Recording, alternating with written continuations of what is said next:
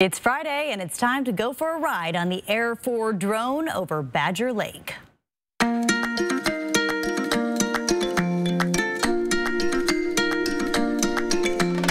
We are at Badger Lake.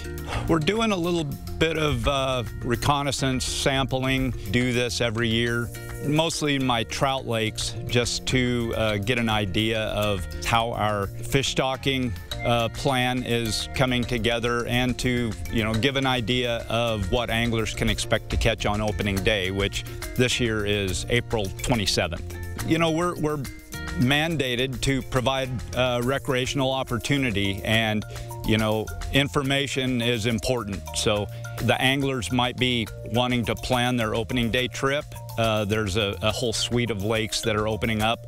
They might want to know which lakes are going to be the best, the best fishing with the, the best size of fish that they want to catch. Each lake will set three nets and then let them fish overnight. We'll come back in the morning.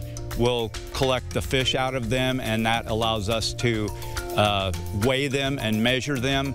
By the length and weight, we can tell if they're if they're healthy, if if they're getting enough food, which may tell us we want to stock more or less. Um, it's, it's just a fine balance.